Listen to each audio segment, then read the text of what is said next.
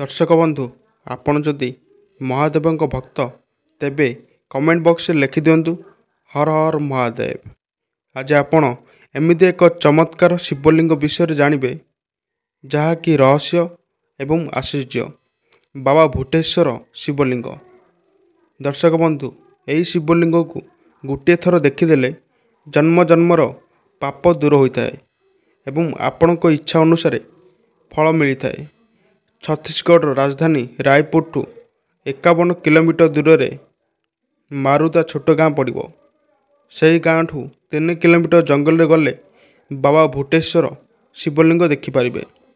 ବାବା ଭୂଟେଶ୍ୱର ପ୍ରାକୃତିକ ଶମ୍ଭୁ ଶିବଲିଙ୍ଗ। ଭାରତର ସବୁଠାରୁ ବହୁତ ବଡ଼ ଶିବଲିଙ୍ଗ। ବାବା ଭୂଟେଶ୍ୱରଙ୍କ ବହୁତ ବଡ଼ ଚମତ୍କାର ଅଛି। ପ୍ରତିବର୍ଷ ବାବା ଭୂଟେଶ୍ୱର ଶିବଲିଙ୍ଗ ବଢ଼ିଥାଏ। ଏହି ଶିବଲିଙ୍ଗ ପ୍ରମାଣ କରିଥାଏ ଜୀବିତ ଶିବଲିଙ୍ଗ ବୋଲି।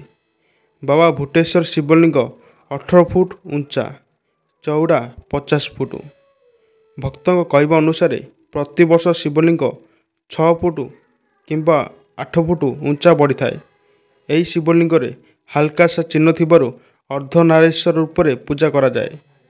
ଇଏ ବି କୁହାଯାଇଥାଏ ବାବା ଭୂଟେଶ୍ୱର ଶିବଲିଙ୍ଗ ଉପରେ ଖାଲୁଆ ଅଂଶ ଅଛି। ଯେଉଁଦିନ ଖାଲୁଆ ମିଶିଯିବ ସେହିଦିନ କଳିଯୁଗରେ ବାବା ଭୂଟେଶ୍ୱର ଅବତାର ନେଇ ପାପୀଙ୍କ ବିନାଶ କରିବେ। ବାବା ଭୂଟେଶ୍ୱର ଶିବଲିଙ୍ଗ ବଢ଼ିବା ଦେଖି ଆମ ଦେଶରେ ବୈଜ୍ଞାନିକ ଆଶ୍ଚର୍ଯ୍ୟ ହେଉଛନ୍ତି। କିଛି ଲୋକଙ୍କ କହିବା କଥା ଏହି ମନ୍ଦିର ଆମ ପୂର୍ବଜ ଜଙ୍ଗଲରେ ଖୋଜି ବାହାର କରିଥିଲେ। ସେତେବେଳେ ଶିବଲିଙ୍ଗ ଚାରି ଫୁଟ ଥିଲା ଦିନକର ଘଟଣା। ରାତି ହେଲେ ପ୍ରତିଦିନ ଜଙ୍ଗଲରେ ବୃଷଭ ଆବାଜ ଶୁଭେ। ଘଣ୍ଟି ଶବ୍ଦ ଶୁଭେ। ଗାଁ ଲୋକ ଯାଇ ଦେଖିଲେ କିଛି ଦେଖାଯାଏ ନାହିଁ। ତାପରେ ଧୀରେ ଧୀରେ ଶିବଲିଙ୍ଗ ପ୍ରତି ଲୋକଙ୍କ ଆଶା ଭରସା ବିଶ୍ୱାସ ବଢ଼ିବାରେ ଲାଗିଲା। ହର ହର ମହାଦେବ।